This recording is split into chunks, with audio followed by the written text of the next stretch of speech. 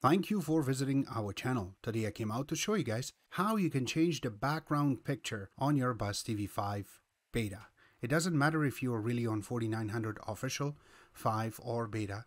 This is how easy it is for you to change your background picture. It doesn't matter if you have your own picture or you want to download. So in this case, in this video, we will show you how you can download one and install it.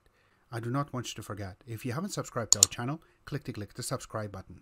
Make sure you share this with your friends and family and make sure you click the notification icon select all in order to get notified once we have a new video out. On top of that, if you have a question, drop them at the bottom of the video. We'll have to help you out ASAP. And don't forget to click to click the like button. It really motivates us to make these type of videos quickly with a little more detail every time. Alright, so number one, we have to go to our App Store. Now make sure you're connected to the internet. In this case, we are connected. We will go to the settings. Once you go to settings, you can see that Wi-Fi is connected. Now it doesn't matter if you're LAN connected on your box. In this case, I am using VidStick, so we're going to use this. Now, first thing is go into App Store. Launch it and make sure that you are up to date. Now, if you're not, just update it, that's all. And then once you are in, here you go, press OK. This is my first time using it, so I am sure we are up to date. Once it comes up, you have to go to the top, you have a little search, click on it. Yes, you will get this pop-up that you have a air mouse or you have a audio recording. I'm just going to say allow for the meantime too. I can bypass that and then go on the top and go to the right and select search. Sometimes it takes a couple of seconds for it to come up. And in this case, we will go into look for something called explore. And as soon as you type a few letters, you're going to see the first one comes up on the list is explore, the way that it's written. And your first one that comes up, we will select it. And then click on install. Now this app is phenomenal. It looks kind of like the FTP clients that you use on your computer. That's why it makes it very easy. And once you see this menu, click on install and let it install. So once we get to it, we will explain why we need this. There are different ones out there, but this is we're going to make it only compatible with Buzz TV. So this way makes it simple for your files to transfer back and forth.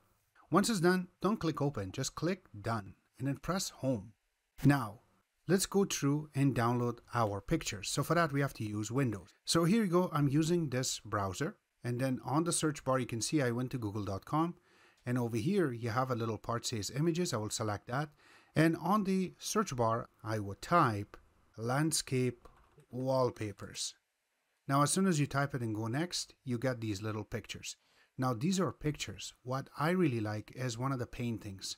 So something like this, or in this case, I'm looking for one that is bluish color. This one, let's select this one. And then if you scroll down, you will get more really beautiful pictures and different colors inside of it. So I will select just one or two of them. So in this case, I will go back up and here you go. Once you go to it, it tells you what size it is. So this is really big and you can right click on it and then say save as. You can select your USB and you can name it wallpaper 1 and save. And that's it. So one is done. Now let's get another one. Now another one, I want to select something a little bit better with more colors. So I will select this one, right click on it and go to save as. And now we will name it something very little different. Something like wallpaper 2. Now sometimes it doesn't save it as that page or as that picture name. And now I already selected one as a test before, that's why maybe it's showing more. But here you go, you can see there's different one called Sunset and you can go next and download as many as you want. And you can see the size is really big on this one too. So we will select save and we can name it wallpaper 3. So this way we have at least three or four in our USB. Once that is done, take the USB out and then connect it to your VidStick in this case, or if you have if you have the box, go ahead connect it on a site. Now comes the best part. Let's go through and you can make a shortcut or you can go down over here, keep scrolling to the right, and you will find that file explore. Mine is right over here. But let's just make a little shortcut on the first so that way we have it access to it very easily, which is right over here. Say yes, go back, and now we have it right over here. So very easy. Now when you have live TV and everything, it will show on the bottom. But let's go through and click on Explorer. Now this is a very, very first time that we launch, so you will get this little pop-up say allow. Alright, so once you're here, turn on your mice in this case, and we will go to internal.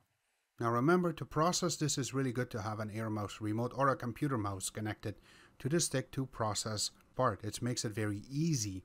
We will select picture and then you can go to your USB. In this case, I have a micro SD slot selected to this and here's the files that I just got. So I will put a little check mark on each of these four pictures that I got and then making sure that this arrow is towards the internal storage. I did select the pictures and then you have a little button right over here says copy. You have to select it. You will get this pop up and you have to say OK. And it just got copied. As simple as that. Now we will press home.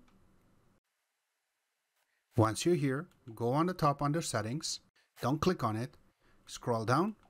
Go to background image we have to give him allowance. And here you go. Now, as soon as you copy it, it reads it twice. So that's the only thing. But you should be able to see the pictures. I do not know why I cannot see the pictures. I will just go back into it. We will select background image. And here you go. Now it shows it properly. So now we can select one, wait a couple of seconds, and it changed. You can see that? How nice and how easy it is to change the picture in the background. And you can click on it again and let's go and select the second one. And now I should get some pictures. Maybe because this is beta it doesn't show, but this is how easy it is to select the second picture. And here you go. This is the second one that I have downloaded. I really like that. That is so different from the other ones. Now we will select the third one. This is how it looks. The third one, now you can put an actual picture there, but I just like that little drawings to make it simple and very easy to process. Now, one thing that I noticed is, here you go, this is one of my favorite, that it shows a few things in the background. It's kind of mixed up all together. And this is how it looks when you are trying to play with it. So if I have to select settings, it doesn't show, but if I have to go back into my pictures and I want to select that first one that we loaded and here you go. Kind of little reddish and all it looks beautiful so we can go through and play with our Buzz TV 5 UI and you can go back into it and you can change it to something a little bit blue. I think the third one was one of the ones that was a little bit blue. There you go. And now you will be able to play with it and it doesn't really clash with anything when you are trying to play. So in the meantime, I hope you guys like our video. If you do like it, click the click the like button, subscribe button on the top comment in the bottom.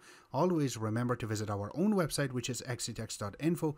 Like us on Facebook, follow us on Twitter, Instagram, and other social networking places, and thank you.